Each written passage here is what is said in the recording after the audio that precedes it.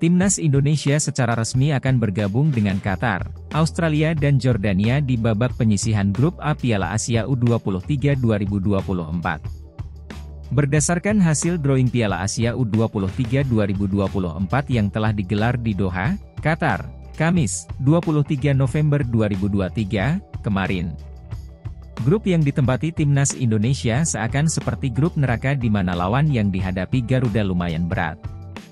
Hal itu sebenarnya sudah diprediksi sejak awal mengingat timnas Indonesia berada di pot paling buncit.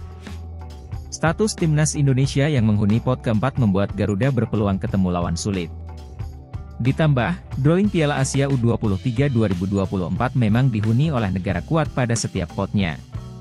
Tak pelak, timnas Indonesia mau tidak mau harus siap bertemu para raksasa Asia di putaran final Piala Asia U23 2024. Benar saja, Qatar yang bertindak sebagai tuan rumah akan menjadi salah satu lawan timnas Indonesia di fase grup Piala Asia U23 2024. Lalu, Australia juga akan menjadi lawan tanding timnas Indonesia selama babak penyisihan. Sedangkan, Jordania juga bukanlah lawan yang mudah bagi timnas Indonesia pada ajang dua tahunan tersebut.